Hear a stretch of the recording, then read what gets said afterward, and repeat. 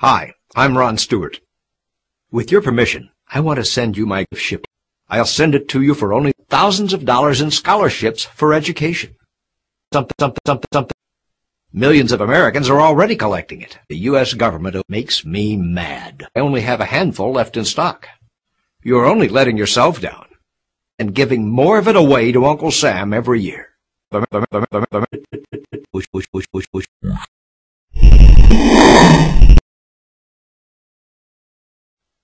Why am I doing this? Hi. How's about we have a nice old game of checkers?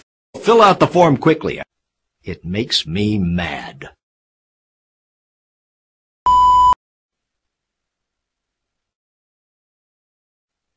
Hi, I'm the kid from Brooklyn.